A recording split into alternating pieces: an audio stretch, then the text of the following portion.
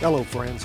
I have been a Helix user for several months now and I am to the point where I don't want to play through anything else.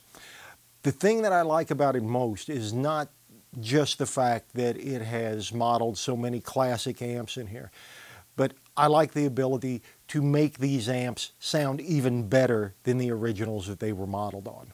So let me start off by talking a little bit about the way tube amplifiers work. Tubes work on direct current. And obviously, the circuit that you plug your amplifier into from your wall is alternating current. That has to be converted to direct current in order for your amplifier to work properly. And we all know from our experience with hum that that 60 cycle AC can produce an audible noise inside of the circuitry. So one of the tricks that early engineers had to deal with was how do we keep any of that 60 cycle hum from getting into the tube amp circuitry. It's very difficult to do and it's never been solved completely.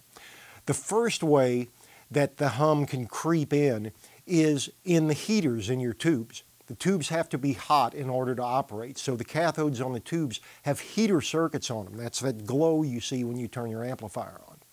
Those are powered by AC. So even though it's stepped down to 6 or 12 volts, you still have a 60 cycle circuit that's producing the heat for your tubes. That is one way that the 60 cycle hum can leak in. The other way is what's called AC ripple. And in the rectifier circuit in the amplifier where the alternating current is converted to DC current, every time that there is a power cycle, there is a little blip that is introduced into it uh, when it's converted to DC. And they use capacitor networks to try to filter out as much of that as they can. It can't be done completely. Um, and luckily these geniuses at Line 6 in doing such precise modeling of amplifiers, they include the heater hum and the AC ripple in separate modeling blocks that we can tweak and do some cool things with. Now, I'm going to fire up HX Edit and show you the first way to get your amplifier sounding even better.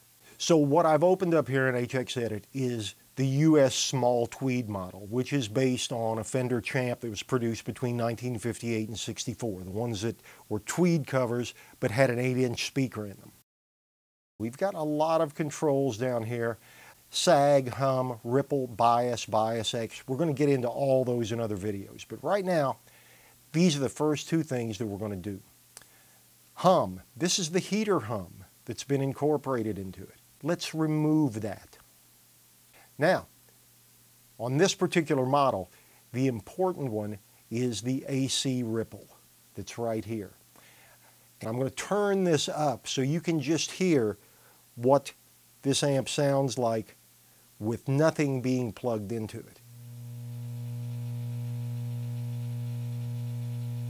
And now I'm going to turn the ripple off. Magic! Can you imagine the Fender engineers that were spinning in their grave when the Line 6 people said, well, let's add the hum and the AC ripple in? These guys who sweated blood for years to try to get rid of this stuff. Okay, well anyway, we've gotten rid of it. And as you can tell already, that amplifier is not humming anymore. Now let's see how it affects the sound. I'm going to put the hum and ripple back up to the settings at 5 where they were. I'm going to play a few licks for you.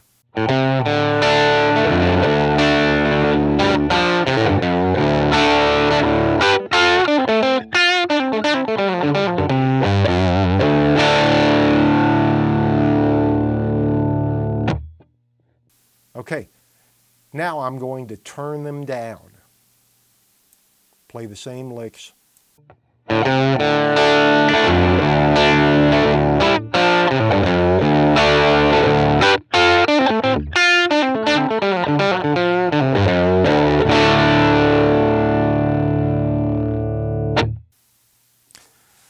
To me, that's just a lot more focused, tighter. It still retains the amp character.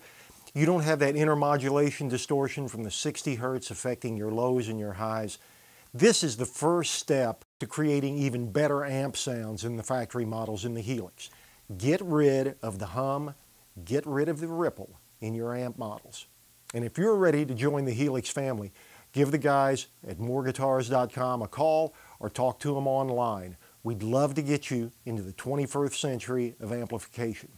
And I'll have more tips coming your way soon. Have a great one.